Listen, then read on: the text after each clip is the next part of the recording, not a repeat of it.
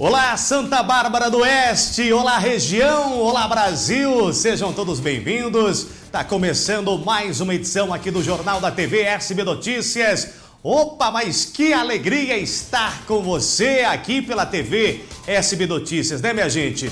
Vamos colocar já o WhatsApp. O WhatsApp do povo, da população é o 997824426. Envie suas reclamações, as sugestões de reportagens aí na sua rua, no seu bairro. Hoje, dia 10 de fevereiro de 2020. É segundona, né, gente? Segundona chuvosa, gostosa. Tempinho bom, hein? Hã?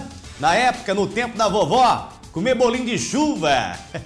Vai se inscrevendo aqui ó, no nosso canal, canal da TV SB Notícias também clique aí no gostei e adicione o sininho para que a gente possa estar tá sempre avisando você dos novos vídeos, novos programas. A hora que a gente entrar no ar, a gente já avisa você aí, tá bom? Legal, vamos que vamos, vamos com prestação de serviço. Obrigado Santa Bárbara do Oeste, olá Brasil. Olha aí o Nilson Araújo no comando aqui do Jornal da TV SB Notícias, é o grupo também da Rádio Brasil de Santa Bárbara.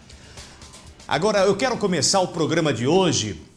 Imagina só, imagina só, saúde, vamos falar de saúde pública no início do programa de hoje. Imagina só se de repente você precisar ir ao médico, ir ao pronto-socorro, porque você estava com uma irritação, é, no seu olho, no seu olho. Imagina aí, Aí você vai lá, é atendido pelo médico plantonista, são feitos ali os procedimentos. Só que ao acordar no outro dia, você já não enxerga mais. É o que aconteceu aqui com a Daniela. Daniela, ela foi ao médico porque um cabelinho, um cabelinho, isso, caiu dentro do seu olho. Foi o olho, olho direito dela, né? E aí ela não conseguia nem piscar. O que, que ela fez? Procurou o pronto-socorro Edson Mano. Ela tem 41 anos, moradora lá do Vista Alegre, está enfrentando uma tremenda dor de cabeça. Ela não está mais enxergando com o seu olho direito. Você vai acompanhar essa reportagem exclusiva aqui no nosso programa de hoje. Veja só o sofrimento, o problema que essa moça, que essa mulher está enfrentando. Põe no ar a reportagem completa. Eu fui cortar o meu cabelo, aí eu deitei um pouco e aí entrou um cabelinho no, no meu olho. Aí eu fui no Edson Mano e eles deram anestesia, tiraram o cabelo, né? E depois eles colocaram uma pasta no olho e, colocar, e colocaram tampão. No outro dia eu fui tirar, já estava meu olho branco. Aí na sexta-feira eu retornei pra, e tirei o tampão, aí já estava branco queimado o meu olho. Deu alergia dessa pasta, como diz o Unicamp, que diz que eh, deu uma alergia na, na, da pasta, do, do produto que eles colocaram lá. Aí na hora que eu acordei já estava tudo branco, já não estava enxergando mais nada. Para mim, eu iria entrar em fazer um BO, né? Esperando o prontuário, que até agora eles não me ligaram. Quando eu fui lá, eles falaram para mim, sim, que não sempre me enrolando que o prontuário não estava lá, né? E que é para me esperar que eles iam ligar. Eu cheguei na especialidade, não tinha oftalmologista. Aí a moça chegou, olhou meu olho e falou assim: vai direto no PE, lá no, no Humano, lá de volta. Lá eu passei no, no médico de novo né? Aí eles já caminharam para Unicamp. No mesmo dia? No mesmo dia, na sexta-feira, dia 31. Olha, a moça não está mais enxergando com o olho direito, né? Foi no dia 30 de janeiro, numa quinta-feira, ela procurou a unidade de saúde de urgência e emergência, o pronto-socorro Dr. Edson Mano, foi até lá, os médicos fizeram os procedimentos para retirada né, da, do objeto. Tinha lá um, um, um, pedacinho de cabelo, é isso? Ela tinha cortado aí o cabelo e ela foi lá. Os médicos fizeram os procedimentos, foi colocado uma pasta dentro do olho da moça. Aí no outro dia, pela manhã de sexta-feira, Ao tirar o tampão, o olho dela estava branco, já não conseguia mais enxergar. Ela voltou até o centro de especialidades, porque ela tinha oftalmologista neste dia, já estava é, encaminhado. Só que o pessoal lá do centro de especialidades falou: não, você volta lá pro, pro pronto-socorro, porque veja só o que aconteceu com o seu olho. Ela foi lá e de lá, de lá, eles viram, eles viram o problema que eles arranjaram na cabeça né, deles e já encaminharam no mesmo dia, na própria, na mesma sexta-feira, essa moça para a Unicamp. E ela está indo, vai e vem, vem e vai. Vai para a Unicamp, volta da Unicamp. E eles estão dizendo que, que foi uma infecção porque ela usava lente. É? Agora, o porquê será? Que eu quero saber, quero perguntar aí para as nossas autoridades, atenção secretária de, de saúde, Segura essa aí para mim, Josué. É, vem um merchanzinho, viu? Olha aí, ó. É, eu quero perguntar aqui para a Secretaria de, de Saúde o porquê que não foi fornecido o prontuário médico, o prontuário do paciente para essa moça que é a Daniela. Ela foi lá atrás desse prontuário porque ela quer saber que pomada que foi essa que foi colocado né, no, no, no seu olho, da, da, da, da noite de quinta-feira para sexta-feira. É isso que todos querem saber. Que tipo de pomada foi essa? Será que está prescrita ali na, na, no prontuário? Hã?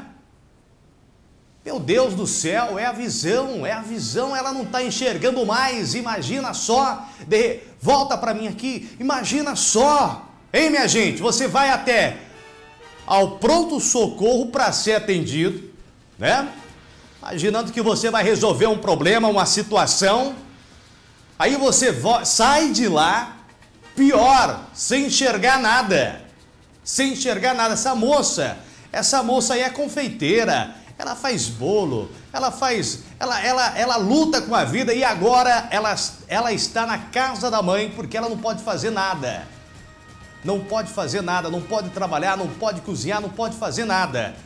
Se não é a mãe, se não é a família nesse momento, olha, tomara, Deus queira que seja só um momento difícil que ela está passando, que a, a visão dela volte, porque senão a Secretaria de Saúde do município de Santa Bárbara do Oeste pelo atendimento né, que teve, os procedimentos que foram adotados no pronto-socorro Edson Mano, quando ela foi procurar por um especialista, algo errado aconteceu.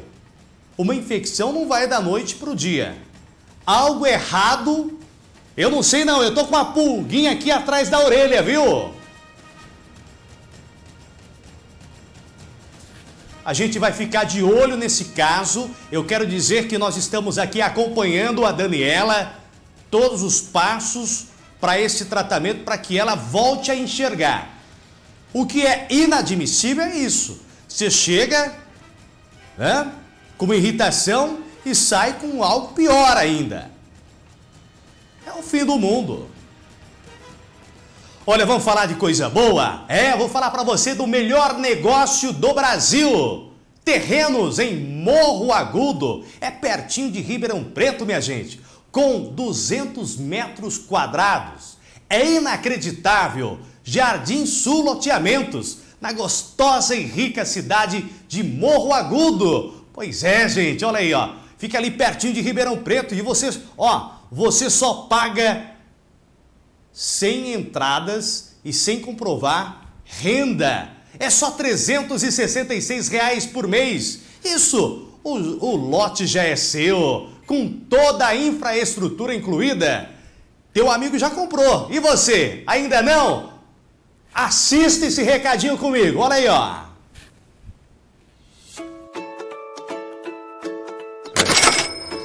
Oi, gente! Tudo bem com vocês? Alô, Campinas Americana e região. A oportunidade de você comprar o seu terreno chegou! Você vai comprar o seu lote numa da região mais próspera do nosso estado. Rica cidade de Morro Agudo, ao lado de Ribeirão Preto, pela Via Anguera. Cidade cercada pelas principais usinas do país e uma das principais cidades que vai dar oportunidade de emprego para você. Oportunidade de lazer também. Estamos localizados na principal bacia de pesca e esporte náutico, no Rio Pardo. É isso mesmo, você vai comprar o seu terreno por apenas 366 reais por mês. Isso mesmo, 366 reais por mês, 35 mil reais à vista. O contrato já sai no seu nome com força de escritura. Vem agora mesmo, buscamos você na sua casa através de vans grátis sem compromisso. Entre em contato conosco no WhatsApp que aparece agora na tela. Venha morar na cidade de Morro Agudo. Construção MNX e vendas Future. Não perca essa oportunidade e invista no que é seu.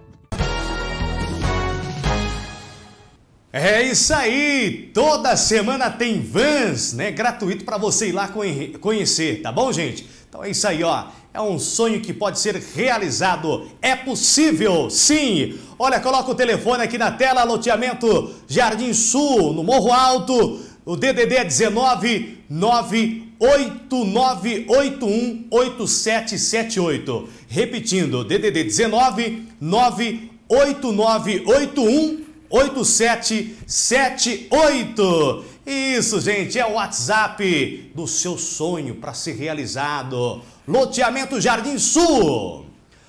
Olha, morreu no sábado, nesse final de semana, às 10h25 da noite, a ex-prefeita e ex-presidente da Câmara Municipal de Santa Bárbara do Oeste, a senhora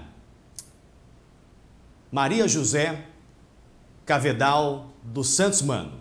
A Zezé Mano, aos 82 anos. Professora de formação, ela era viúva de Dr. Edson dos Santos Manos, que dá ao nome ao pronto-socorro aqui na área central, deixou três filhos. Foi voluntária na rede feminina de combate ao câncer por muitos anos e, tem, e também foi presidente da instituição por duas vezes. Nas redes sociais, a Rede Feminina de Combate ao Câncer lamentou a morte de Zezé Mano, ela que foi sepultada né, ontem aqui em Santa Bárbara do Oeste às três e meia da tarde. Zezé Mano, que foi um exemplo tanto na política como um exemplo de pessoa também, viu gente? Foi uma pessoa, olha, uma das maiores políticas que eu já, é, é, que eu já vi na minha vida, né? Todo, todo o histórico da Zezé Mano, uma excelente, uma mulher é, exemplar e muito querida. Não é à toa que o município decretou luto de três dias. Os nossos sentimentos, amigos e também familiares.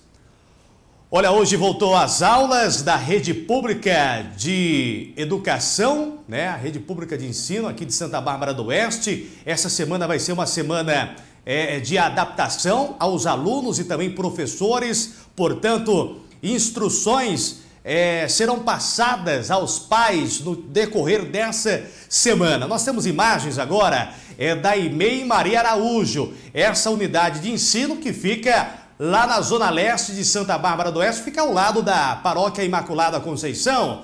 Olha aí, a EMEI Maria Araújo, uma das unidades aqui de Santa Bárbara, é, também voltou aí com um novo layout. Veja aí as pinturas e desenhos nas paredes, essa interatividade é, para que os alunos possam ingressar nesse ano de 2020. Ficou muito bonita, né? Essa unidade.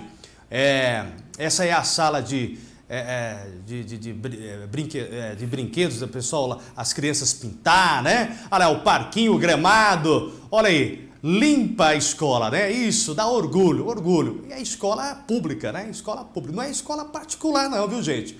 Veja aí, ó, eu quero parabenizar todos os coordenadores, é, quero parabenizar também, em especial, ao coordenador, diretor, o Luciano, né, a Silvana, um abraço para vocês aí, a todos os educadores lá da EMEI Maria Araújo, lá no bairro Cidade Nova. Volta às aulas, criançada, agora. Nessa semana, como eu disse, vai ser uma semana de adaptação, instruções aí para, né, com os pais dos alunos E boas aulas, né? Boa volta às aulas aí para todos, né? Boa. O Josué ainda não tem filho, mas o, meu, o meu pequeno Nicolas falar para você, esse volta às aulas parece que não chegava nunca, hein, rapaz, né?